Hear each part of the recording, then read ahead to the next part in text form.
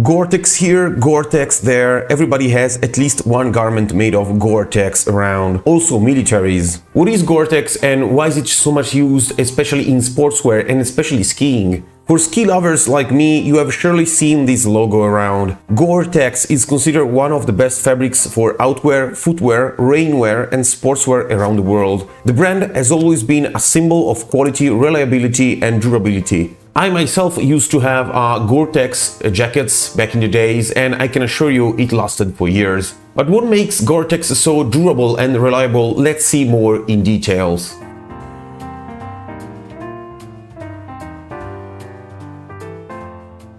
Gore-Tex, where Tex stands for textile, whereas Gore stands for Gore, is the surname of the inventors of the fabric, Wilbert L. Gore and his son Robert W. Gore, both engineers. The producing company is W. L. Gore and Associate and was founded in 1958 by Bill Gore, who used to work for DuPont back in the days. Gore-Tex is well known for breathability and water repellency. How can you combine these two properties together? I mean, it's counterintuitive to have a breathable fabric and a water repellent fabric. Well, not for father and son Gore. Bob Gore, the son of Bill Gore, after PhD in chemical engineering, started helping his father in the cellar, trying to create a new material of elastic PTFE, also known as Teflon, the same molecule used for kitchen pans. You know, the ones that let the fats slide. They managed to create this ePTFE, a solid film of PTFE that, if heated at 300 degrees and instantly cooled, can be drawn mechanically until you obtain a kind of microporous web with 70% of air and the rest is ePTFE. Basically, they invented a way to use the same polymer of kitchen pans for sportswear. The only difference is that we are not making kitchen pans here, we are making textiles, but it's actually the same thing. Water drops and oils slide on the surface, making the fabric repellent, whereas the web, since 70% is air, is breathable. Water molecules are in fact not bigger than oxygen molecules, but have three atoms and are bent for 104.5 degrees. With this membrane, water molecules slide on the surface, whereas oxygen can pass through this membrane. Gore-Tex mainly refers to this membrane of ePTFE, of Teflon, but it's 100% of the cases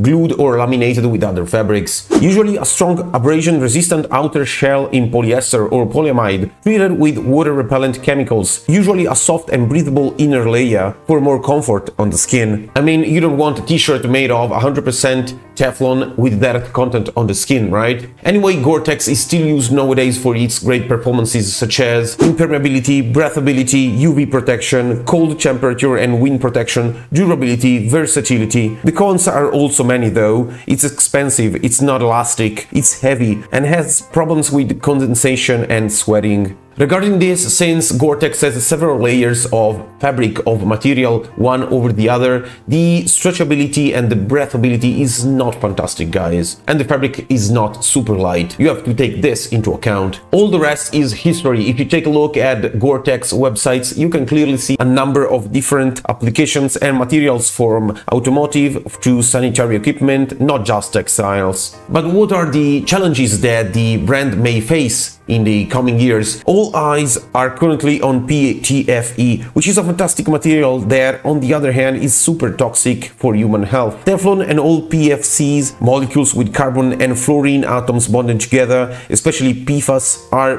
bioaccumulative and remain in the environment for years and years, causing several problems to reproductive and endocrine system. Several regulations like the European REACH and the California Proposition 65 are barring PFAS, since these molecules have been found also in drinking water, sludges and human bodies. That's it for today guys, I hope you have enjoyed the content of this video. You will find my details below along with my email, Reddit and so on. Please make sure to subscribe to the channel and as usual, if you have some kind of trouble, problem with textiles, I am at disposal naturally. And yeah, as usual, stay safe, take care. I'll see you guys in the next video.